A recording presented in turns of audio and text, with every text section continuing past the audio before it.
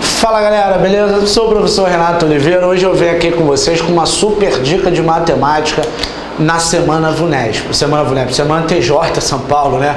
Que a banca é a VUNESP, né? Então, ó, meu e-mail tá aqui, você já sabe, oliveira.renatod.gmail.com Adiciona no Facebook que é esse e vamos ao que interessa, né? Você tá doido para ver que dica é essa. Meu irmão, porcentagem é a questão certa na tua prova. Então vamos ver aqui a questãozinha de 2013, ó. Em uma empresa, 20% dos funcionários, então ó, 20% dos funcionários possuem apenas o ensino fundamental completo. Então, fundamental completo. Vai sublinhar, tá? Isso que tu vai fazer na prova. Dos demais, ou seja, do restante, tá? Dos demais funcionários da empresa, 25% possuem cargo curso técnico e 15% do restante possuem curso superior. É tudo do restante, né? Sabendo que os funcionários que têm curso superior não fizeram curso técnico, pode-se concluir que, em relação ao número total de funcionários da empresa, o número de funcionários com curso superior representa uma porcentagem. Aí você, meu Deus, cadê o total? Fica feliz. Por que fica feliz, Renato? Quando não dá o total, a gente bota 100, meu amor. Bota o total 100. Total 100, acabou. Dos 100, 20% fundamental. Então, vou puxar a setinha aqui para criar o fundamental. Fundamental 20% de 120. Dos demais funcionários, ou seja, de 80, né? É, dos demais funcionários da empresa, 25% tem curso técnico, 80, ou seja, curso técnico é 25% de 80. Por que de 80? Que é dos demais, né? 25% de 80. Como é que faz para calcular 25%? Você tem várias maneiras. A mais fácil, 25%, é dividir por 4 vai fazer 80 por 4. Então vai dar o quê? 20, né?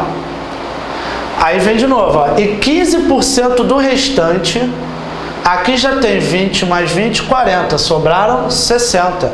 Então curso superior é 15% de quanto?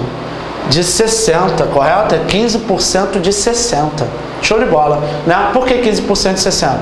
15% do restante possui curso superior.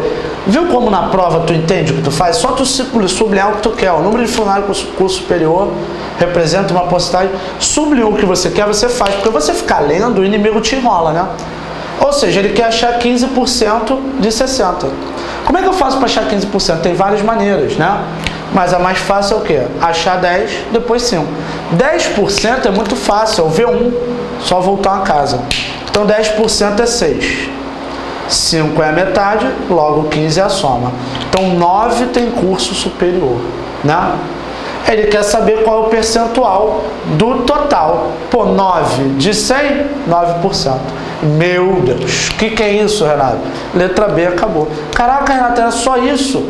Só isso. Mas entenderam o principal? Vocês têm que vir sublinhando o que é importante. Sublinhou, você faz. Maravilha, né? Show de bola então, galera. Deixa eu mudar aqui. Maravilha, né? Então, olha só, galera. Dá um pause aí, tá? Para copiar, tudo mais. Entender aqui que delícia. Toma cuidado porque ele foi falando do restante, do restante, para você não errar, tá? Então, aqui, ó. De onde veio 60? Já tinha 20 mais 20 40, ficaram 60, ou então era 80 menos 20, 60, cheguei à minha resposta que era 9. Maravilha, né? Viu? Na prova tu faz rapidinho e consegue. Galera, espero que tenham gostado dessa super dica aí de porcentagem.